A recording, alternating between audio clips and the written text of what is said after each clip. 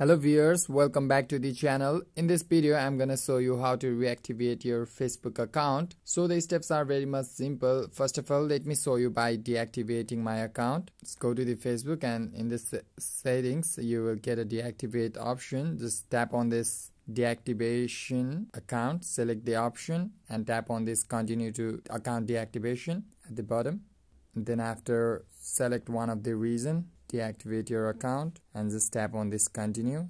And then after scroll down and again tap on the continue at the bottom. And again scroll down and account will give you the option of deactivate my account at the bottom. Just tap on this deactivate my account.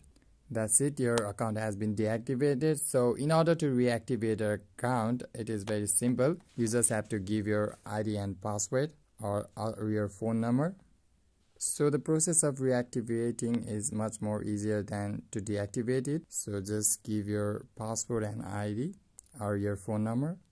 That's it. So in order to reactivate your account you just have to log in your facebook account with your uh, id and password. So this is simply how you can reactivate your account. So hope this video helped you a lot and thank you for watching this video. Before you go please like share and subscribe this channel as well. Thank you